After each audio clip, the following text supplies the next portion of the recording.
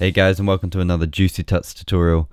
Craig here and today we're going to look at how to export a still frame in Premiere and also how to create a freeze frame because I know that's what a lot of people want to do. I've been wanting to do this for a while and it took me a while until I could find out how to do it.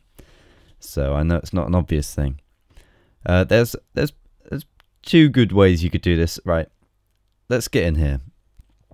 I have a video here that you I'm sure you've seen in other videos. Uh, it's a promo video for a band called Depth that I did a music video for. It's called All I Know. Make sure you go and check it out on YouTube. But here we have this is just going to be my example. Uh, so here we have um, a video, and they the guitars go up there. Let's say I want a freeze frame right on that cut there how would I do it? Maybe someone's running along and you want a freeze frame. This could be anything in the video. How would I do it? Well, you can split the video at the point, which I've done there.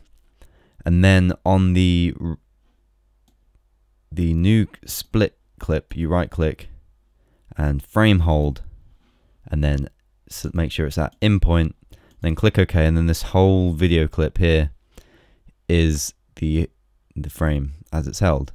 So the video will play and it will freeze at that point.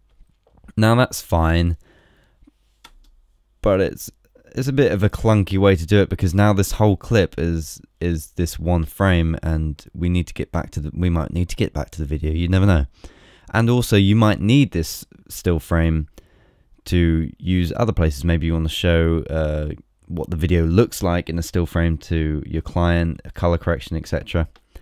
Um, so you want to export a still frame. So let's undo what we've done here.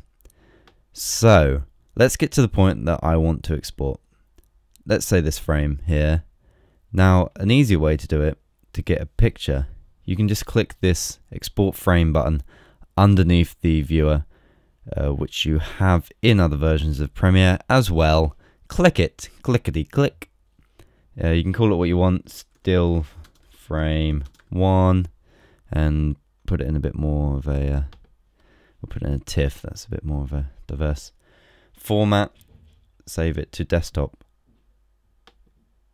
Okay, so that clip should now be on our desktop, and there it is, looking all lovely over there in full 1080p, 1080p, just 1080 by 1920 uh, so now we can come over to the project window and import it and then we can simply insert it just like any other uh, asset into our video.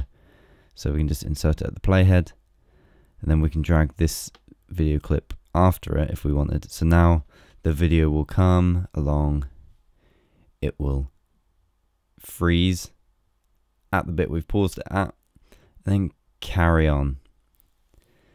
Well, there you go. And then you've also got that picture that you can use elsewhere if you need a still frame. That's not a good place to pause at. Ah, okay. Well, anyway, there you go. That's uh, two ways to create a freeze frame and how to export a still frame in Premiere. This was CS6, but it'll work the same way in uh, CS 5.5, CS5, and CS4, etc. Uh, thanks for watching. Remember to rate the video, give it a thumbs up if you like it. Actually, don't give it a thumbs down if you don't like it. Just give it a thumbs up if you do like it. Um, that way it works better for us. Uh, remember to subscribe if you want more of these videos and follow on twitter.com forward slash juicy tuts. Uh, thanks for watching. I'll see you again. Bye.